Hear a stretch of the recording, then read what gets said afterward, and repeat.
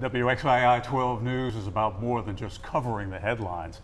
It's about a commitment to our community and raising issues that impact it.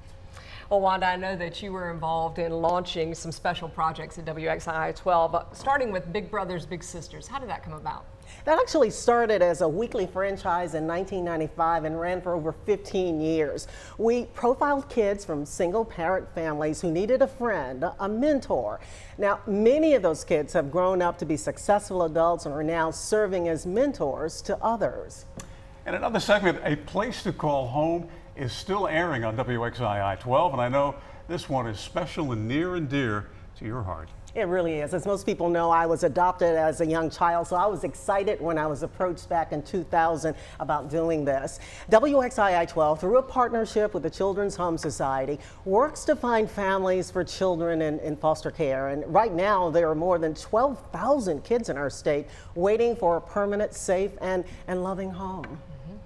Well, many of those stories, well, they're just heartbreaking.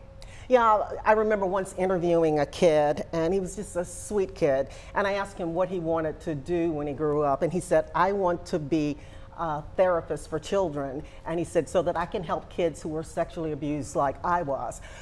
I was not expecting that. Obviously, we didn't air that portion of the interview, but I was so moved by it. I had to leave the room because I was in tears.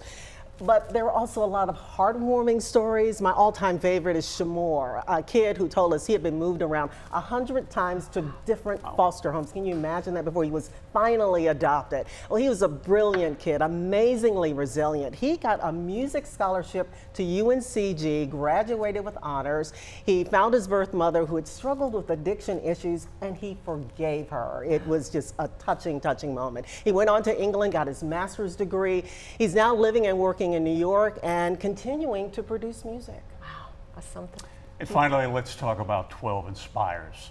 12 Inspires was actually inspired by the people who watched WXII. I was traveling with about 40 of our viewers in Alaska, and every morning before we set out, I'd update them on the news back home. A lot of it was not good news, and they told me, no, we don't want to hear any bad news. Same thing happened when we went to Italy. And sometimes there just wasn't any good news to report. So I'd say the good news is that you are here and you're having a wonderful time. But something clicked, and I thought, you know, we really need to look harder for good news, people doing things that are inspiring.